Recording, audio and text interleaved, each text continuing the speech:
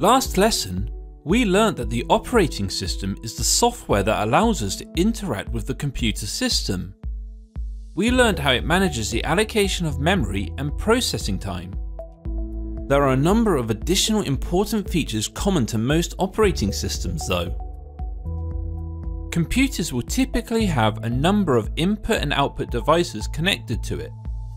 Input devices allow us to enter data into the computer system, while an output device allows us to receive data from a computer system. These devices connect to your CPU via the motherboard through a cable like a USB or wireless method like Bluetooth. Data, such as signals from input devices, can transmit through these cables to the motherboard and through this to the CPU. The operating system has an important role in managing input and output devices. For example, when an input device needs to send data to the CPU, the operating system will handle interrupting the CPU's normal processing of instructions so that it can deal with this device. Of course the CPU is also a lot faster than we can transfer data to and from input and output devices.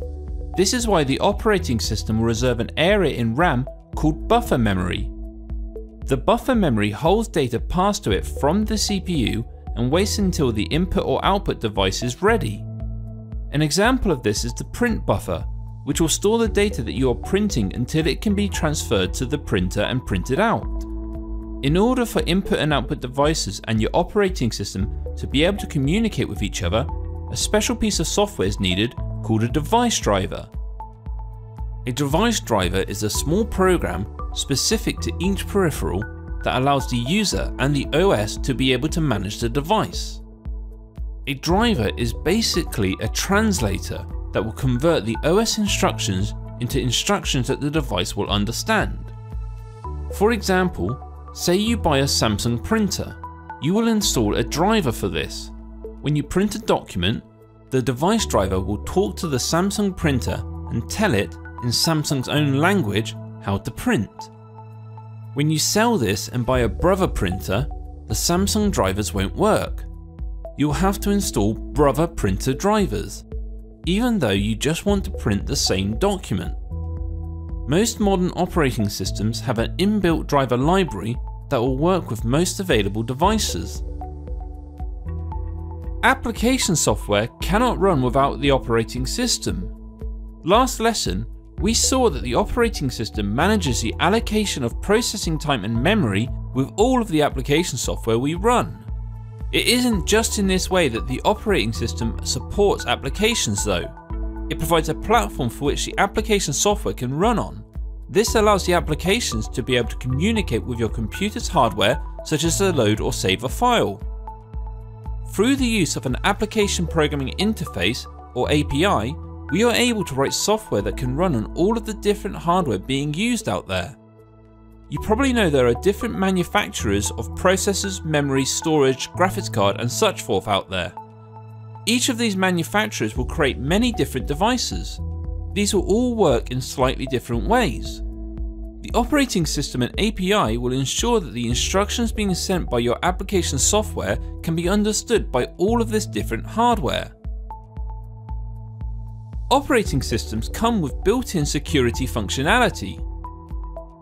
This involves allowing us to create individual user profile accounts and allocate these to users. It is also the operating system that will allow us to set access rights for each user profile. This involves putting users into groups and giving these groups specific permissions. In your school you might be a member of the student group that has relatively few permissions, while your teacher probably has some further permissions.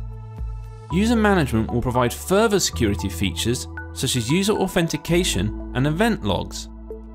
User authentication is where a user must enter a username and password in order to gain access to a user profile. This prevents unauthorized access to the computer system from malicious users. Event logs track when a user logs in and out of a specific machine, so you can track a cybersecurity incident by finding who was on a device when the incident occurred. So, the operating system will manage how data passes between peripherals and the CPU. This includes by handling interrupts and by managing a buffer in memory. A driver is a small program that translates instructions from the operating system into instructions that the device can understand. Most operating systems come with built-in drivers. They'll also allow you to install additional drivers. The operating system will manage your applications and ensure they can communicate with your hardware through the use of APIs. The operating system will allow you to create user profile accounts, manage these accounts' access rights, and provide security features like password authentication and event logs.